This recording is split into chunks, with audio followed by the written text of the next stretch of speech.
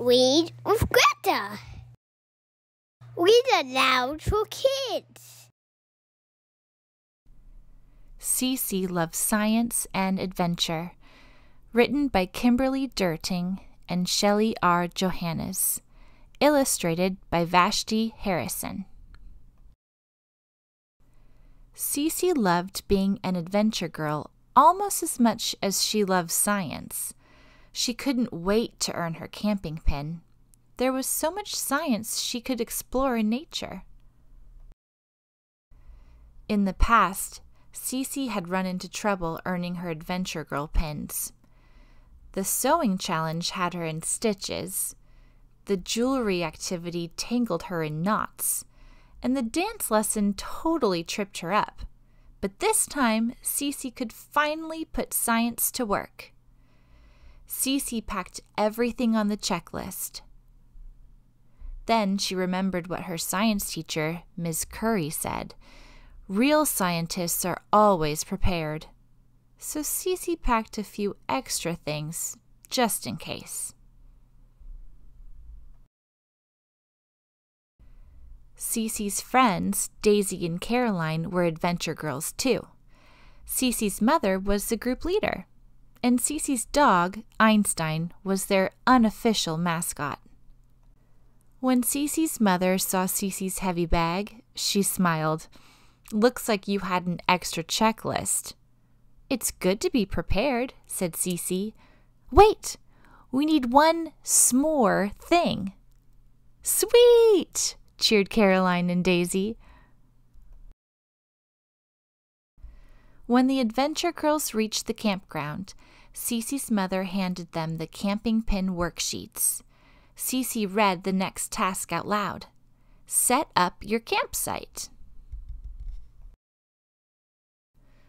Putting up this tent will be a breeze, Cece whispered to Einstein.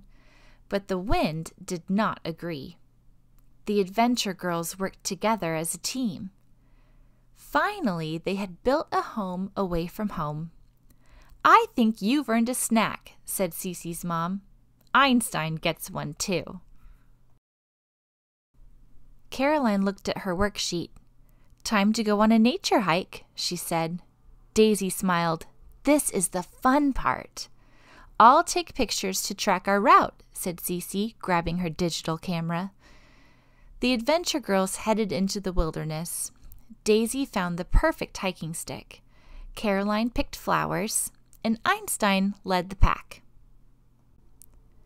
Cece took pictures of landmarks along the trail a twisty oak tree, a dry riverbed, and a fork in the path. She also took one of a huge boulder that looked like a gnome with a mossy beard. All of a sudden, the sky grew darker. Uh oh, said Daisy. I hope it doesn't rain, said Caroline. It's okay, adventure girls, said Cece's mom. Don't worry. But Cece wasn't so sure. She studied the gray clouds and remembered what she'd learned about weather during Miss Curry's meteorology lesson. Mom, I think a storm is coming, Cece said.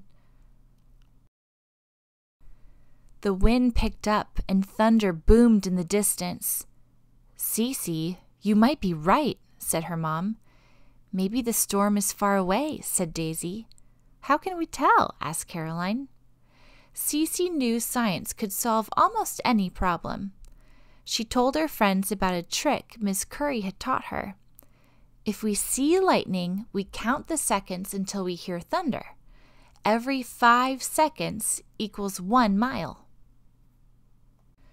Just then, lightning flashed across the sky. Daisy looked at her watch and they started counting. One Mississippi, two Mississippi, three Mississippi. When they reached 20, thunder rumbled again.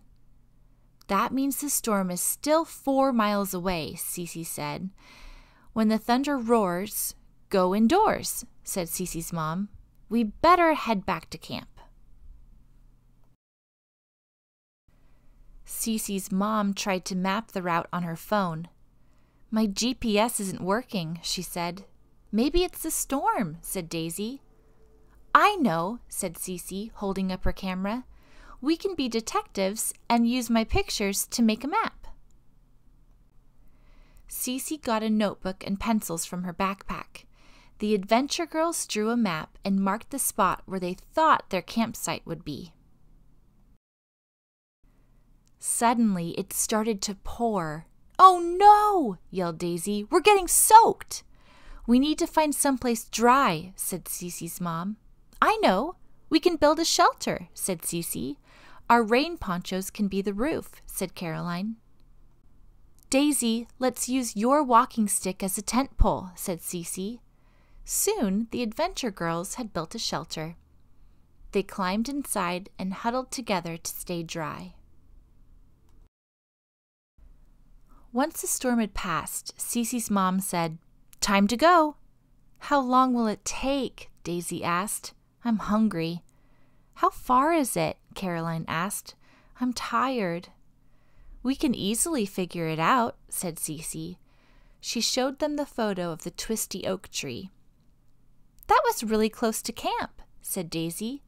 The time stamp says one o'clock, said Caroline. Cece pulled up their group picture. Look, this one was taken at 145. Caroline pointed to the gnome rock, and we took it right there. So if we subtract 1 o'clock from 145, that means we're about 45 minutes away from camp, said Cece. That's not far at all, said Daisy. S'mores, here we come, said Caroline. Forty five minutes later, the adventure girls arrived at their camp, ready to eat. But when Cece looked inside the tent, she found an empty marshmallow bag. Einstein, Cece's mom scolded. Mom, I don't think it was Einstein, said Cece, pointing to the tracks in the mud. Look. Something stole our snack, said Caroline. That means there's no s'mores for us, said Daisy. Cece held up the graham crackers and chocolate bars. We'll just have to make do with chocolate sandwiches, she said. The adventure girls did a great job today, said Cece's mom. You all definitely earned your camping pins.